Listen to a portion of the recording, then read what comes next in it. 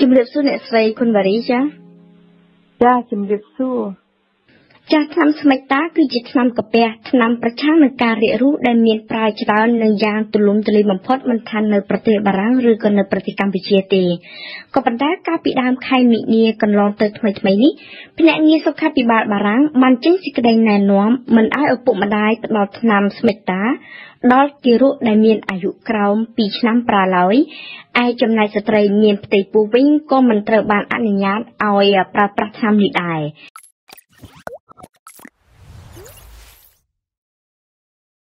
ជាសេចក្តីណែនាំដើម្បីជាកិច្ចការពារទេពីព្រោះថាការការពារវាប្រសើរជាងព្យាបាលមែនហើយក៏ប៉ុន្តែអ្នកស្រីខ្ញុំដូចជាឆ្ងល់ខ្លាំងណាស់ថាតើហេតុអ្វីបានជាតិបារាំងទើបតែធ្វើការសម្រេចចិត្តបែបនេះ តើថ្នាំស្មេតាមានផ្ទុកសារធាតុពុលអ្វីដែលមិនល្អទើបតែនឹងរកឃើញឬក៏យ៉ាងណាដែរទៅចាចាថ្នាំស្មេតាជាថ្នាំដែលគេផលិតចេញពីដីឥដ្ឋ argile ដែលជាជាតិ silicate de magnésium et d'aluminium ដែលហៅថា diosmetic គេប្រើវាក្នុងការព្យាបាលប្រឆាំងនឹងអាការៈរាករូស និងដើម្បីបំបត្តិការឈឺពោះដែលបណ្ដាលមកពីការរាករូសនេះកាលពីដើមខែមីនាឆ្នាំ2019ដោយយោងទៅលើការសង្កេតអន្តរជាតិមួយ ដែលនិយាយពីកំណត់ចំនួនតិចបំផុត ដែលជាតិសំណបង្កើតជំងឺពុលសំណ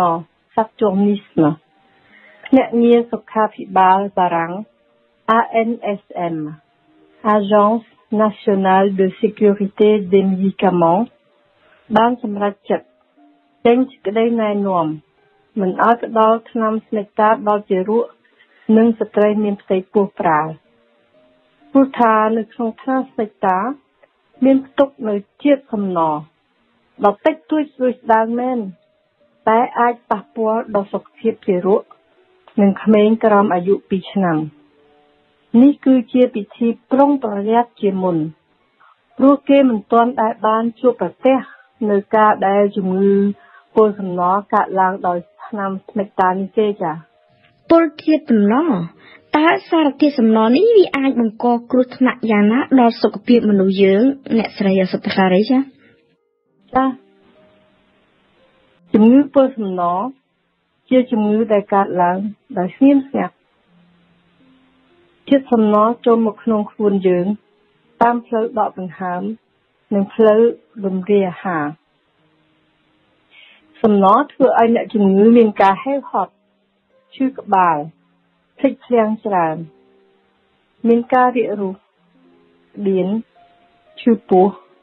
មិនឃ្លានខ្លាំងមិនឃ្លានបាយអឺរស័ព្ទរសល់គេមិនលក់យូរទៅអាចឲ្យអ្នកជំងឺស្លេកខ្លាំងឡើងឈាម មានជំងឺដល់បេះដូងនិងក្រលៀនរហូតដល់បាត់បង់ជីវិតនៅពេលដែលជាតិសំណល់មានច្រើននៅក្នុងខ្លួន កូនក្មេងដែលកើតជំងឺពុលសំណល់អាចធ្វើឲ្យវាទន់ខ្សោយភ្លេចភ្លាំងក្នុងការរៀនសូត្រជាតិសំណអាចឲ្យមានគ្រោះថ្នាក់ដល់ស្ត្រីមានផ្ទៃពោះនិងទារកនៅក្នុងផ្ទៃចាដោយមិនឲ្យមានការលូតលាស់ល្អ នឹងអាចឲ្យពេលខ្លះដល់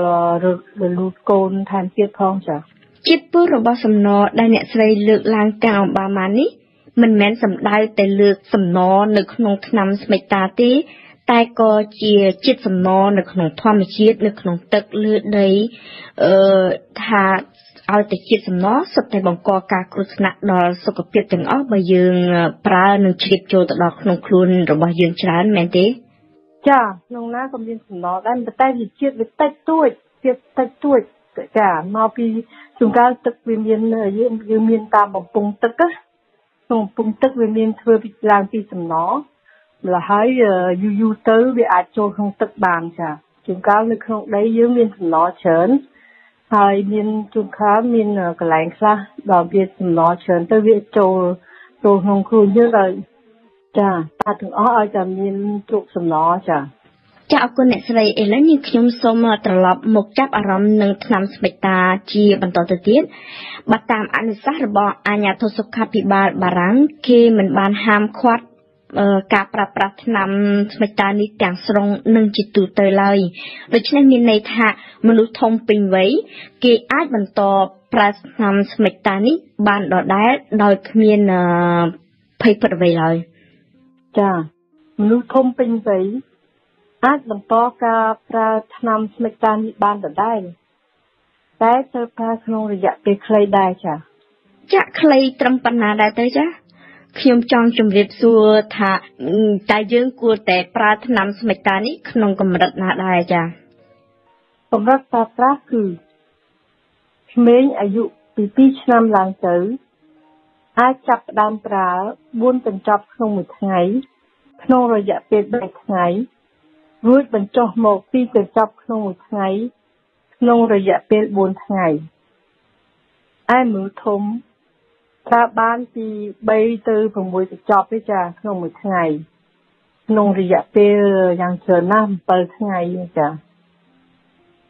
ព្រោះបើយើងញ៉ាំថ្នាំលើសកម្រិតវាអាចឲ្យយើងទៅជាក្តៀនទៅវិញចា យើងត្រូវតែធ្វើដោយ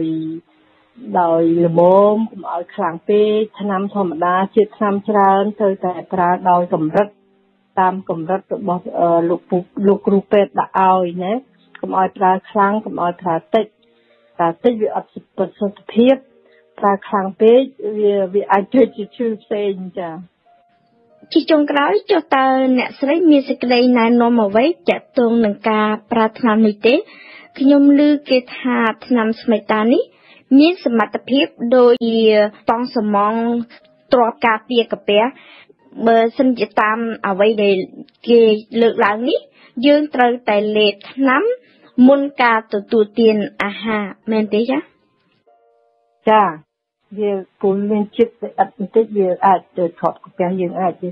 វាអាចពីសកាពះយើងដើម្បីដើម្បីការពារចាយើងអាចញ៉ាំមុនអាញ៉ាំបាយ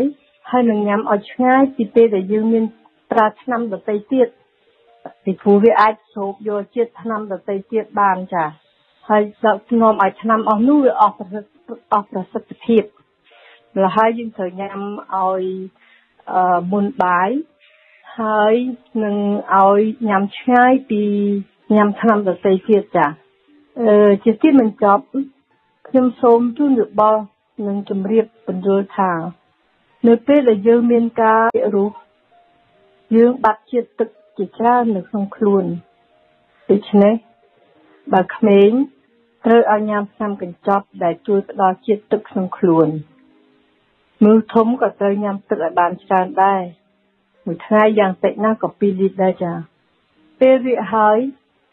យើងត្រូវជៀសវាងកុំញ៉ាំបន្លែឆៅផ្លែឈើស្រស់ម្ហូបដែលមានជាតិហឹរ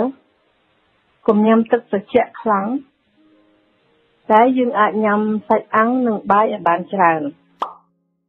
ចាសសូមអរគុណអ្នកស្រីសូមបញ្ជាក់ថាអ្នកស្រីខុនវ៉ារី គឺជាអសតការីខ្មែរម្នាក់នៅទីក្រុងតូស៊ីជាទីក្រុងប៉ារីស